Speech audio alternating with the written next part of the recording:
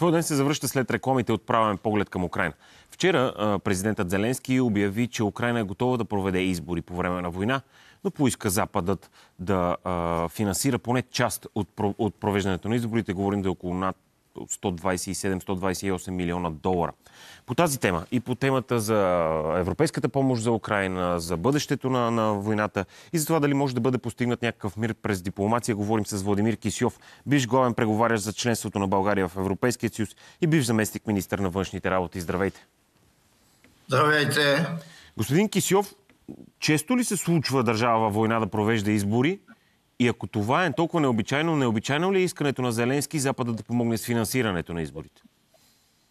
Ами и двете неща.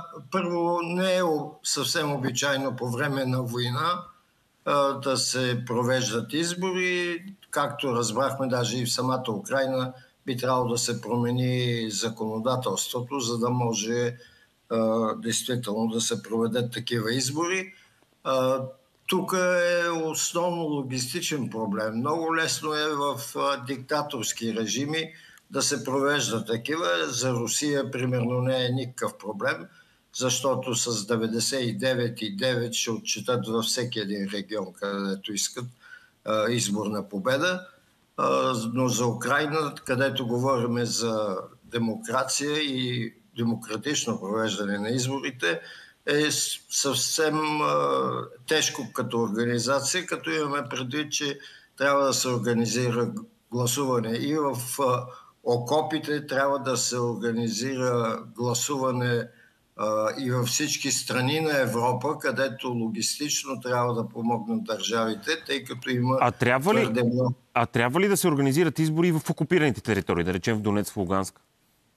Е, там вече големия въпрос е, може ли въобще да се организират там? Как ще се организират в места, където има присъствие и където а, има руски войници, където непрекъснато има някакъв терор и убийства, става ли да се организират там? Това е не е ли, не е ли именно това големия въпрос? Ако приемем, че и то е очевидно, че няма как да се организират там а, такива избори. Може ли да бъде един такъв избор представителен? Може ли да бъде законен въобще? Имаме едни огромни части от украинска територия, които хората, в която няма да могат да подадат гласа си.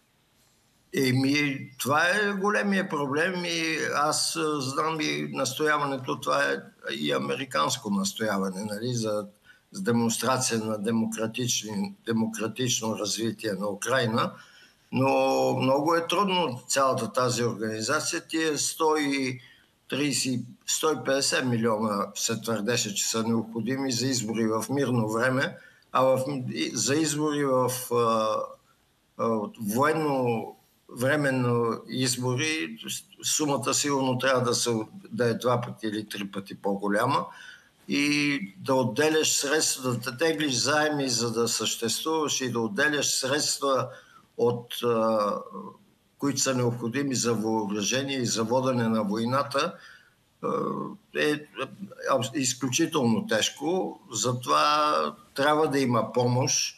Кой ще даде тая помощ и как ще я даде и как във всичките, в Полша, в България, една организация на изборите, кой ще подпомогне придвижването на хората, които са в България, да отидат да гласуват там, където са открити урни, каква ще е тая логистика, кой ще финансира всичкото това и на местна почва тук. Това са въпроси, на които са много тежки за отговор. Може ли да се очаква искане от страна на Украина или по-скоро от, от страна на западните ни партньори, ако предположим, че такъв избор се състои. В България има, доколкото знам, около 160 хиляди украински беженци. България да финансира провеждането на избори на собствена територия.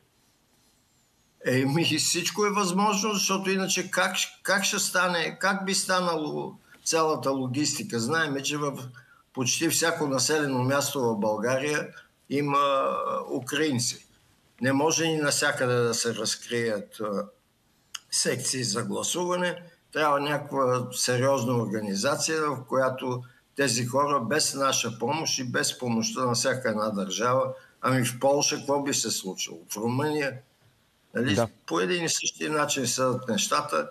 Изключително тежко е организацията на такива избори, че чисто теоретически е много хубаво да се произведат и изхода от едни такива избори е почти ясен, защото когато една държава е нападната от агресор, по-голямата част от населението застава в защита на собствените си на собствената си държава и на собствените си ръководители в такъв един момент. Вчера едно друго изказване на президента Зеленски направи впечатление. Той каза, че е възможно дипломатическо разоръжаване или демилитаризация на Русия в Крим.